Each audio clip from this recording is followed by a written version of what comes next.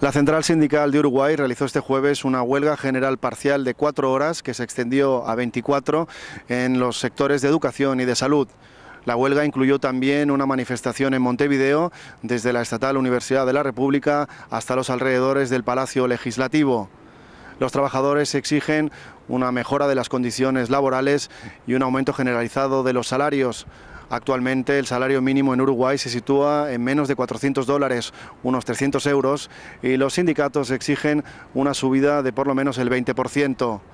Las protestas se producen justo antes de que el Parlamento apruebe el próximo presupuesto general de la Nación y en un momento de bonanza económica para el país que ha encadenado varios años de crecimiento.